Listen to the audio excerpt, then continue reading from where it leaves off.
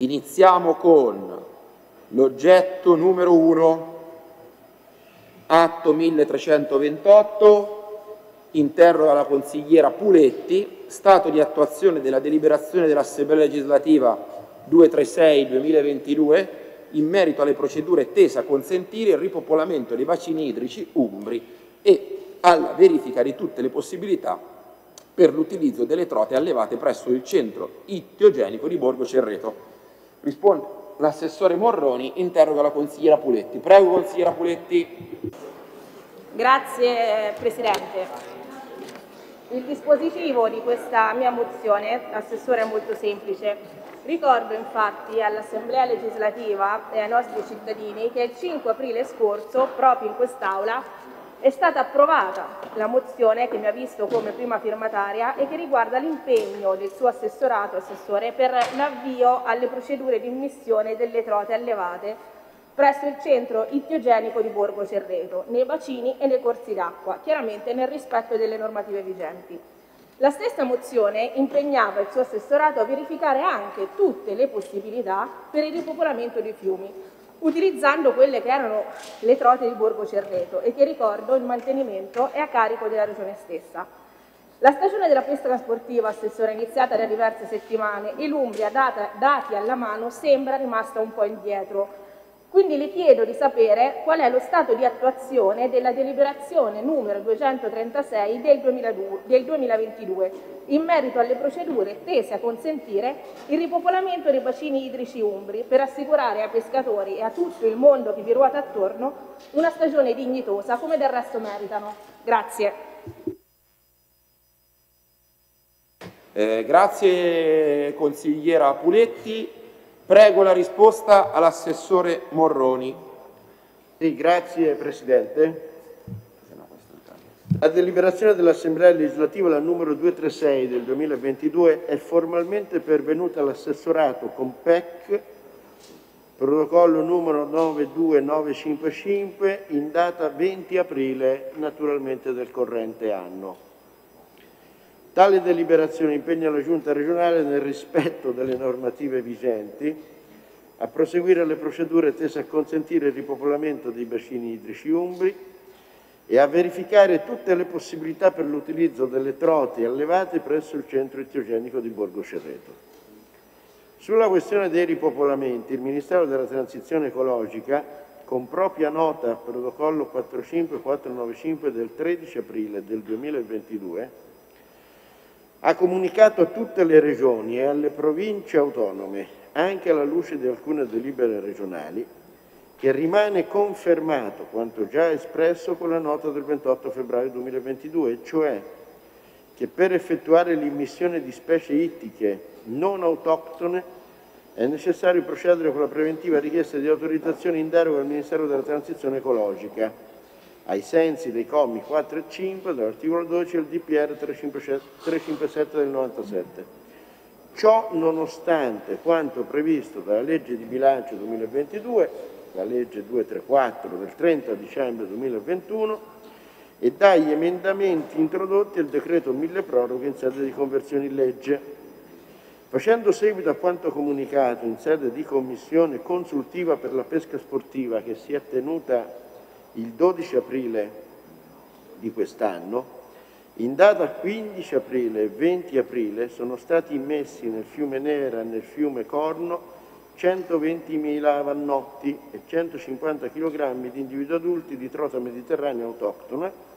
allevati presso il centro etiogenico di Borgo Cerreto, dando seguito alle attività di conservazione della specie. Per quanto riguarda il ripopolamento di bacini idrici umbri per l'attività di pesca sportiva e agonistica, la Regione, come già fatto presente anche in precedenti momenti di confronto in seno all'Assemblea, ha presentato il 29 dicembre del 2021 richiesta di deroga al Ministero della Transizione Ecologica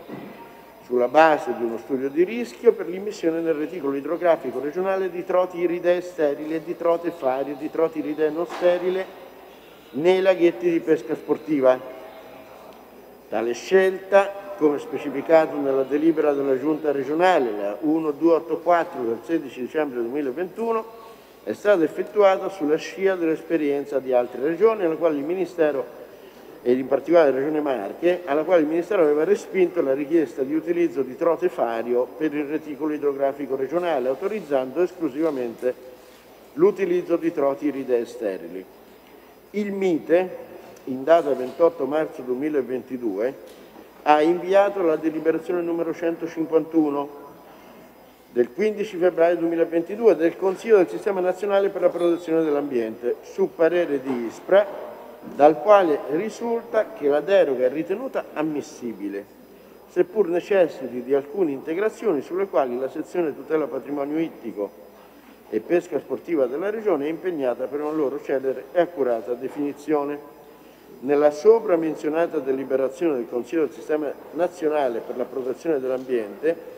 viene ribadito che la trota fario risulta alloctona per la Regione Umbria per questo motivo le trote atlantiche allevate presso il centro idrogenico di Borgo Cerreto non possono essere al momento utilizzate per i ripopolamenti dei corpi idrici naturali e pertanto si stanno attivando le procedure anche per la vendita. In conclusione si sottolinea ancora una volta che, riconoscendo il valore sociale ed economico della pesca sportiva, si è impegnati per trovare e percorrere tutte le soluzioni possibili per far fronte alle criticità che sono sopraggiunte nell'ultimo periodo. Grazie Presidente. Eh, la replica? Prego, prego consigliera Puletti. Grazie eh, Presidente, grazie anche Assessore per la sua risposta sicuramente eh, dettagliata e puntuale. La nota del MITE che lei ha uh, fatto riferimento nel, nel, suo intervento, ce l'ho qui, come lei ha detto è datata 13 aprile 2022 ed è stata inviata a tutte le regioni d'Italia e alle province autonome. Tra l'altro questa nota non dà, non dice né più né meno di quella che era la nota diffusa qualche settimana fa, qualche settimana prima. È altrettanto vero che in più di un'occasione lei, Assessore, ha ricordato questa, questa nota che, come anche lei nell'intervento ha specificato, è stata inviata a tutte le, a tutte le regioni d'Italia. Quello che però volevo evidenziare in questa mia replica è che è vero che è stata diffusa in tutte, è stata inviata a tutte le regioni d'Italia, ma ci sono alcune regioni, penso alle Marche, penso alla Toscana e penso alla Liguria per citarne qualcuna, che una soluzione rispetto alla problematica che sicuramente subiamo dal nazionale l'hanno trovata. È di pochi giorni fa l'annuncio dell'assessore marchigiano Carloni che annuncia proprio una grande vittoria per le Marche perché grazie alla sua volontà politica e alla sua determinazione i pescatori marchigiani sono tornati appunto a pescare sulle sponde del fiume Metauro e del Chienti, inaugurando quelli che sono i propri i campionati provinciali della trota, abbattendo tra l'altro quello che è un problema fondamentale in questa questione, ovvero la burocrazia. E qui c'è l'estratto del resto del Carlino in cui si dice che le Marche hanno autorizzato l'immissione delle trote iridee nei propri fiumi, con un percorso concentrato con tutte le associazioni piscitorie della regione. Situazione analoga per la, per la Liguria, dove un consigliere di maggioranza chiede all'assessore regionale Piana una soluzione per far fronte a quello che è la volontà del mondo ittico e chiaramente di tutto il comparto economico che ne consegue. E anche in questo caso l'assessore regionale risponde sì, all'immissione di trote iridee e fario di ceppo atlantico nei corsi di acqua, eh, chiaramente liguri. Situazione analoga per la Toscana, non molto lontano da casa mia, in Casentino. Quindi quello che mi viene spontaneo pensare, Assessore, molte, molte regioni trovano comunque una soluzione, che ripeto è sicuramente un problema che ci cade dall'alto, però una soluzione o in un modo o nell'altro, facendo anche fronte a quelle che sono le caratteristiche e, eh, delle singole regioni, quantomeno si trova. Noi non credo che l'Umbria si meriti di restare al palo, sinceramente. Non ce lo meritiamo come Umbria, non, lo, non se lo meritano le associazioni e tutto il comparto ittico. Come Lega abbiamo più volte fatto delle proposte perché chiaramente siamo qui per provare a risolvere un problema. Lo hanno fatto i miei colleghi precedentemente chiedendo anche l'emissione di trote sterili, per esempio. Lo abbiamo fatto proprio in quest'Aula il 5 aprile scorso chiedendo l'immissione di quelle che sono trote definite molto vicine al geneticamente puro. Trote che adesso si trovano nel, borgo, nel centro ettiogenico di Borgo Cerreto e che non mi stanco a dire, sono a carico della Regione e che lei, Assessore, sa benissimo che molto probabilmente andranno al macero. Tutto questo, Assessore, per dire che comunque sia serve sicuramente una soluzione. Una soluzione non possiamo aspettare che il problema ce lo, ce lo risolvano dall'alto. Il problema dobbiamo comunque affrontarlo anche come eh, Regione. Detto questo, Assessore, a noi eh, non interessa comunque come Lega fare la voce grossa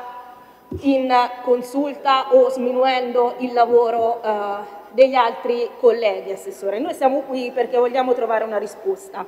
una soluzione. Come Lega lo stiamo facendo in Consiglio regionale, lo hanno fatto i nostri parlamentari attraverso anche dei comunicati stampa in cui si ribadisce la posizione della Lega che come ha detto l'assessore Carloni delle Marche, tendo anche a ribadirlo qui in Consiglio regionale, la Lega è e resta dalla parte dei pescatori e del comparto adesso legato. Quindi concludo, mi auguro Assessore che si continui a lavorare in maniera molto dettagliata e soprattutto cercando di trovare una soluzione a un mondo ittico che se lo merita, che rappresenta la nostra tradizione, che rappresenta la nostra identità, senza disattendere quella che è stata una mozione approvata all'unanimità in quest'Aula. Grazie. Oggetto, rimane qui. Oggetto numero due, risponde sempre eh, l'assessore Morroni, interroga il consigliere Bianconi. Prego consigliere. Grazie, grazie Presidente. Questa, questo atto nasce dai tempi difficili che stiamo vivendo e tratta di energie rinnovabili, di uguaglianza, di sostenibilità ambientale, ma anche allo stesso tempo di tutela della bellezza. Come tutti ben sanno, l'Italia dipende al 73% da, energi da energia derivante dall'estero. Le famiglie oggi in questo grande momento di difficoltà devono stanziare circa uno stipendio l'anno per coprire l'incremento di costi energetici e di aumento di costi delle materie prime. Nel 2021, a febbraio, la crescita dei distacchi per mancato pagamento delle forniture energetiche in Italia è cresciuta del 36%. Di fronte a questo scenario assolutamente preoccupante e ad un prossimo autunno e inverno che sembra prospettarsi molto critico, ci sono molte domande che ci dobbiamo porre e una necessità profonda di fare chiarezza, per non perdere le occasioni che possono derivare dall'utilizzo intelligente dei fondi europei e dal PNRR e per dare in modo comunque anche alle famiglie e alle imprese che operano in aree che continueranno purtroppo ad essere soggetti a vincoli paesaggistici e ambientali che non sempre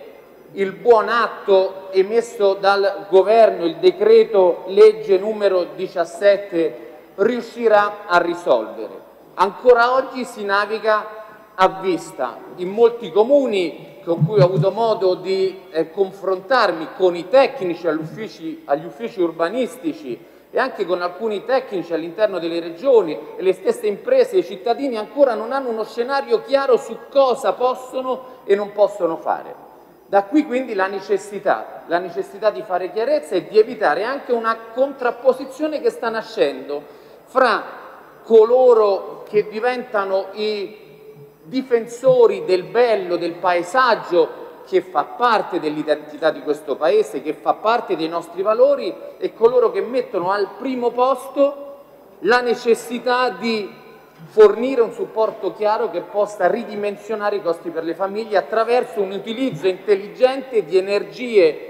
rinnovabili sostenibili. Allora dove sta la risposta che dobbiamo andare a cercare? Tutelare il bello, allo stesso tempo dare un supporto alle famiglie e fare in modo che non ci siano discriminazioni e quindi costruire delle compensazioni o delle soluzioni esterne che possono far sì che in quei luoghi dove ci sono vincoli ambientali o vincoli paesaggistici si possono comunque trovare delle risposte per far sì che quei cittadini possa, possano domani accedere all'energia con gli stessi costi che hanno tutti gli altri.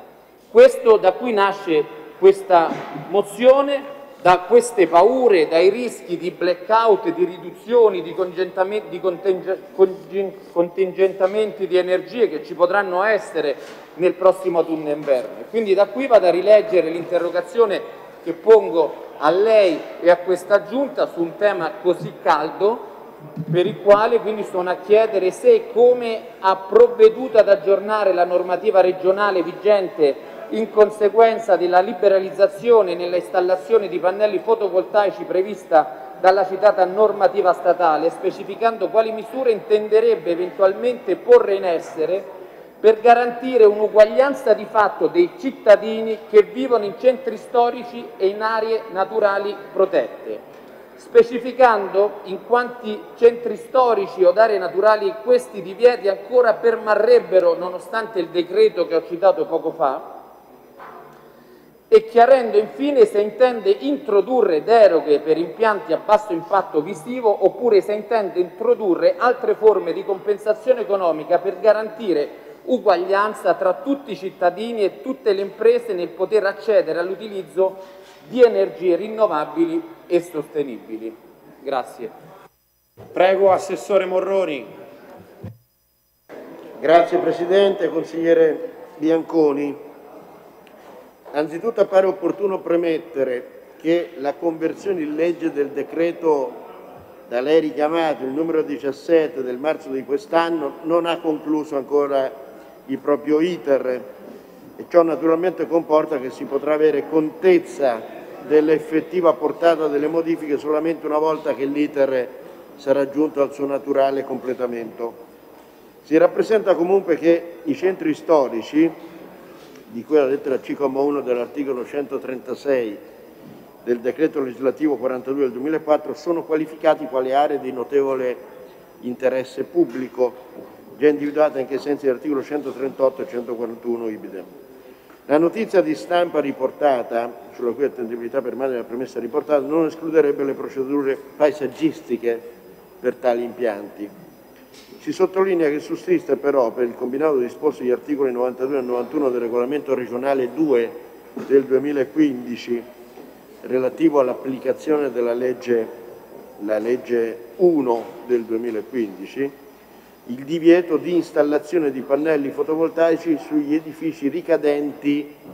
nelle aree classificate quali insediamenti esistenti che rivestono valore storico e culturale che corrispondono alle zone classificate precedentemente quali zona A del DM 1444 del 68. Tali zone, pur se non perfettamente sovrapponibili, spesso coincidono con i centri storici di cui sopra. Il divieto di installazione quindi permane per le fattispecie sopra indicate. Da alcuni mesi sono in corso delle interlocuzioni con l'assessorato competente in materia di urbanistica al fine di dirimere la questione il tutto tenendo conto del fatto che tali impianti sono comunque soggetti a procedimento autorizzatorio paesaggistico semplificato ai sensi di quanto disposto dall'articolo 2,1 del DPR 31 del 2017. Si specifica comunque che l'autoproduzione energetica per il soddisfacimento dei fabbisogni domestici, così come l'efficientamento energetico, ossia la riduzione degli sprechi, costituisce uno dei fondamenti dell'azione politica in termini energetici nella consapevolezza comunque che l'affrancamento naturalmente dalla dipendenza energetica italiana è un obiettivo di lungo termine. Detto questo, il tema che lei ha posto all'attenzione dell'Assemblea è un tema sicuramente pertinente e quindi parallelamente all'evoluzione e alla definizione del quadro normativo in materia io credo che una riflessione debba essere aperta con l'intento di trovare soluzioni che scongiurino il rischio di ineguaglianze e di difformità di opportunità e di trattamento tra i, tra i cittadini a seconda del luogo dove, dove vivono e dove risiedono. Insomma, credo che sia un tema aperto che dovremo affrontare con equilibrio al di fuori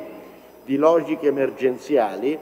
che credo non gioverebbero all'individuazione di soluzioni equilibrate ed efficaci, ma dire, mantenendo la barra dritta verso un impegno che deve essere un impegno di lungo periodo e quindi deve andare alla ricerca di soluzioni che pongano i cittadini in una condizione di pari opportunità. La ringrazio Assessore per, eh, per, la risposta, condivido il principio che le soluzioni emergenziali sono sempre pericolose e non sempre eh, portano con sé un utilizzo intelligente dell'opportunità delle risorse di cui predisporre di cui possiamo disporre oggi. A tal riguardo quindi la invito prima possibile ad affrontare questo tema perché l'autunno e l'inverno prossimo che ci attende saranno molto complessi, le famiglie potrebbero riuscire a trovare delle soluzioni per affrontare il prossimo autunno e inverno in maniera più serena, proprio perché i rischi di impatto sul loro bilancio, specialmente con quelli che hanno dei redditi più bassi, sarà importante, prevederà dei tagli sociali, anche quello delle imprese che non possono operare nei centri, che hanno già ridotto le loro produzioni di, di beni e quindi anche gli orari di lavoro con un impatto sociale altrettanto importante. Io le, le do, mi, permetto di fornire anche un'ipotesi, un contributo nel ragionamento laddove e molti comuni di questa regione hanno dei vincoli importanti nei centri storici, ci sono però dei terreni di proprietà comunale, mi auguro, e anche regionale al di fuori di questi centri storici, allora chi non può operare e non mettere energie rinnovabili all'interno dei centri storici per tutelare la bellezza, che è un grande patrimonio, dovrebbe poter usufruire di questi spazi all'esterno che sono della comunità, quindi del comune o della stessa regione, per poter risolvere il problema di questa disuguaglianza esistente. In chiave strategica una risposta puntuale da parte di questa regione credo che darebbe serenità e darebbe anche una prospettiva oggettiva sulla quale lavorare da subito, perché ripeto, il prossimo autunno e inverno credo che saranno decisamente complessi.